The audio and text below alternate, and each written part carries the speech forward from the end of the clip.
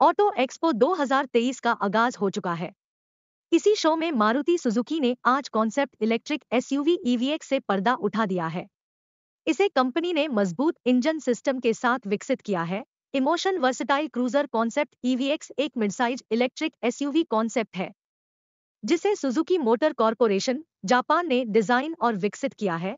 Emotion versatile cruiser concept EVX एक midsize electric SUV concept है। जिसे सुजुकी मोटर कॉरपोरेशन जापान ने design और विकसित किया है। इसमें इलेक्ट्रिक वाहन के लिए बनाए गए बिल्कुल नए प्लेटफॉर्म का उपयोग किया गया है। इसके डायमेंशन की बात करें तो इसकी लंबाई 4300 मिमी, चौड़ाई 1800 मिमी और ऊंचाई 1600 मिमी है।